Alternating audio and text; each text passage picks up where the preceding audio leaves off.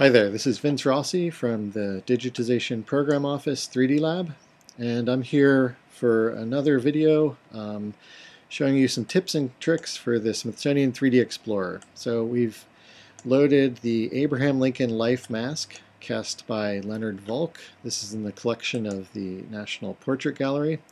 And today we're going to be talking about uh, the split screen mode. Um, so we're going to, again, go over to our left side. We have all our tools in the left right-hand corner. We click the down button. We can click this little uh, viewer layout tab, and then we're able to split the screen two different ways. Um, horizontally or vertically. So we're going to do a horizontal split so we can compare models side by side. So here we have two models loaded in, the same uh, 3D model.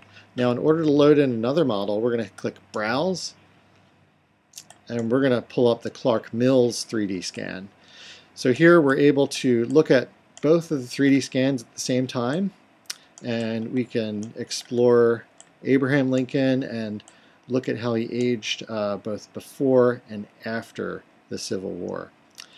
Um, so this is a pretty easy tool to use, but uh, valuable, uh, especially for these Lincoln Life masks. And as we grow our collection, our 3D collection at the Smithsonian, we think this split screen uh, tool for the 3D viewer is going to be um, really helpful. So thanks for tuning in, and uh, stay tuned for more videos to come.